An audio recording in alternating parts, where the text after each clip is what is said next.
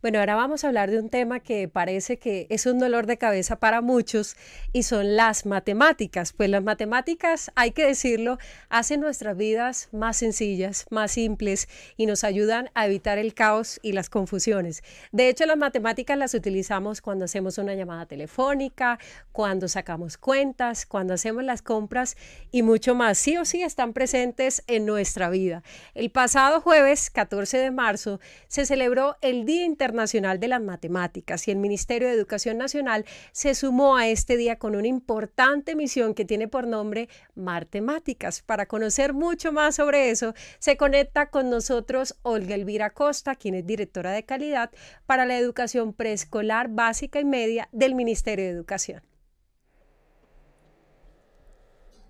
Hola, Olga, buenos días. Buenos días. Ya ustedes hicieron, desarrollaron los ejercicios de, la misión Marte Matemática? No, señora, es que para eso la estamos llamando, para que usted nos diga qué hay que hacer. Hay que seguir la guía y desarrollar todos los ejercicios que desde el Ministerio de Educación Nacional le estamos proponiendo a todos los maestros y maestras y a los niños y las niñas para que se eh, introduzca en esta gran misión de las matemáticas. Hay que decir que ese fue un trabajo conjunto con los docentes, los estudiantes y por supuesto el acompañamiento del Ministerio de Educación. ¿De qué se trató Misión Matemáticas y qué se logró con ella? Bueno, básicamente era, era un, es el gran desafío de que los, los, eh, los maestros y maestras de todas las áreas, porque no necesariamente tenían que ser las, el área de matemática, pero bueno, el llamado era para los profes de matemática y las profes de matemática que pudieran eh, crear una misión para Marte, eh, en donde los niños y las niñas debían construir un artefacto, es decir, un cohete, para poder eh, encontrar un tesoro. Y ese tesoro lo encontraban a través de unas pistas matemáticas. Entonces, eh, bueno, eh, hoy en Colombia están todos los niños muy activados, jugando y aprendiendo desde las matemáticas. Pero, ¿cuántas instituciones aceptaron el reto y cómo describiría la participación de maestros y estudiantes?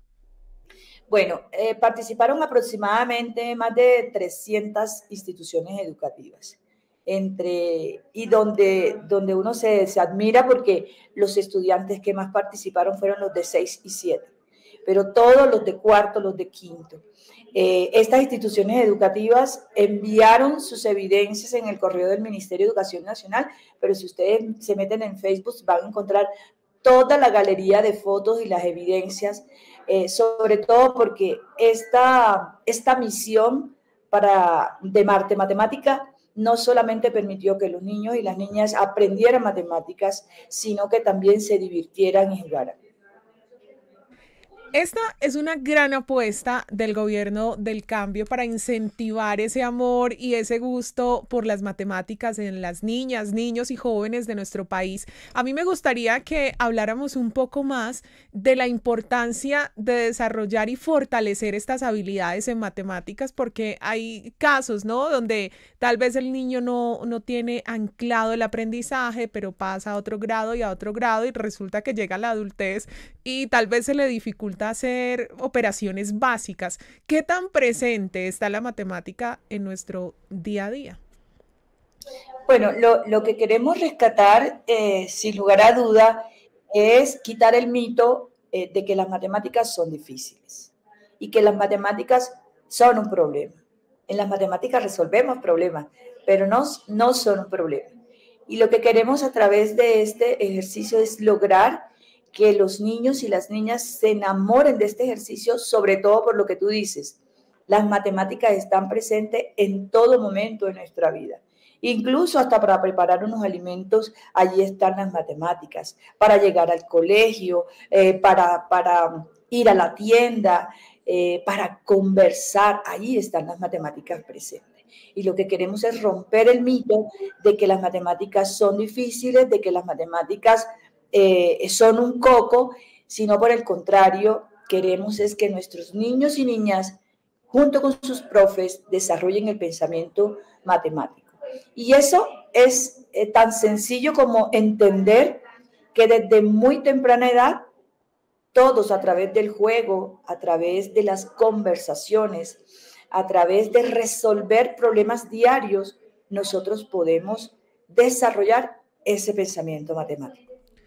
Hay algunas personas que dicen que de pronto es en la forma de enseñar las matemáticas y le van cogiendo fobia. ¿Hay alguna forma de llegar mejor? ¿Qué tipo de actividades, por ejemplo, tuvieron o talleres tuvieron que desarrollar y cómo influyó esto en la formación integral de los estudiantes que participaron? Miren, jugar.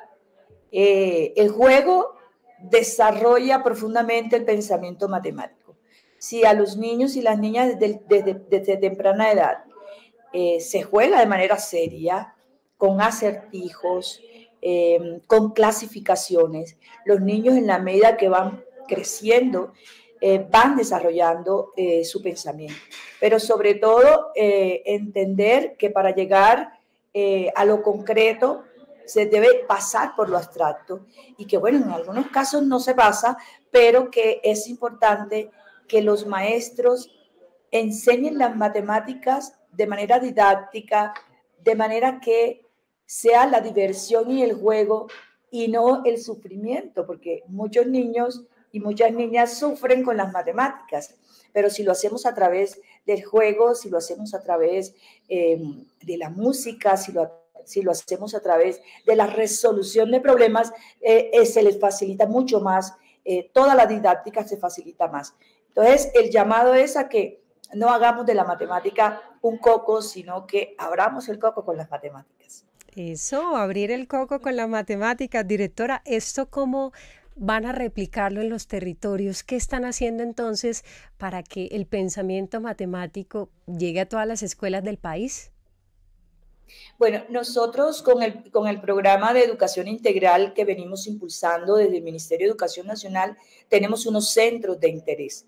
Todos los niños y las niñas que están interesados en esa búsqueda y que tienen esa, ese talento y que, le, y que les apasionan las matemáticas en los colegios, en las instituciones educativas, con los maestros, tutores y los formadores, estamos creando los centros de interés en donde vamos a tener esos clubes de matemática, esos lugares para, para resolver problemas. Nosotros tenemos instituciones educativas que tienen clubes de ajedrez, que desarrollan mucho el pensamiento matemático eh, y lo que, lo que estamos haciendo es abrir ese espacio desde el proceso de educación integral con los centros de interés de matemática que permita que cada día nosotros no solamente lo hagamos un 14 de marzo, porque es el día de las matemáticas, sino que la escuela de manera permanente pueda estar atenta a poder desarrollar este pensamiento que además eh, eh, aparece como, como, uno de los que menos tenemos nosotros desarrollado eh, a través de las evaluaciones que nos hacen la prueba, la prueba Saber, la prueba PISA.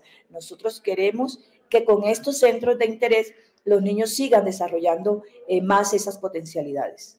Directora, hay que decir también que hay muchos niños y niñas que estudian desde la casa y otros no cumplen todavía la edad para asistir a un colegio. ¿Qué pueden hacer esos padres, esas madres desde su hogar para fomentar, para sembrar esa semillita del pensamiento matemático desde sus hogares?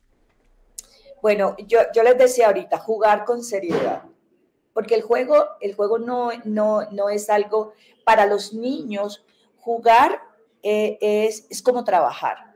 Entonces, si nosotros, los niños que están en la escuela, los, los, los más pequeños que se quedan en casa, si nosotros los ponemos a jugar, haciendo clasificaciones, reconociendo las figuras, reconociendo todo lo que está a su entorno y conversando con ellos, sobre todo eh, en la resolución de problemas, preguntándoles a ellos cómo lo resolverían. Eso le va a generar a ellos la habilidad para que a futuro, cuando lleguen a la escuela, cuando lleguen al preescolar, puedan ir desarrollando esas habilidades y eso que se que para muchos niños en la primaria es complejo, se vuelva fácil. Muy bien, ahí nos estaba hablando entonces la directora de calidad para la educación preescolar básica y media del Ministerio de Educación, Olga Elvira Costa. Gracias por acompañarnos y por abrirnos el coco. Colombia, potencia de la vida.